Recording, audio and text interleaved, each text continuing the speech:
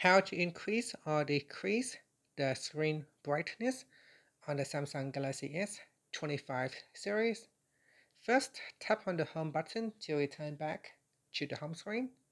And from the home screen, swipe down at the top, then tap on the settings icon.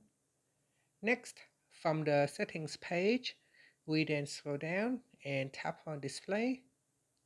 Then in here, we scroll down and to adjust the screen brightness, you can drag, drag on the brightness bar to the left to decrease the brightness, or we can drag it to the right to increase the brightness.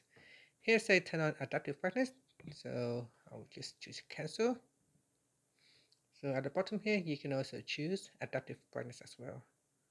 Okay, this is one way. Another way to change your screen brightness is to swipe down at the top to open up the control center or the uh, quick settings panel. From here, we swipe down again to view the full screen or just even on the first panel, you can drag on the brightness bar to the right or to the left to change the brightness.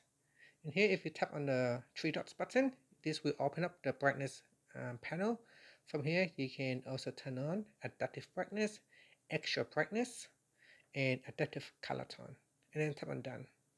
And that's it. Thank you for watching this video. Please like and subscribe to my channel for more videos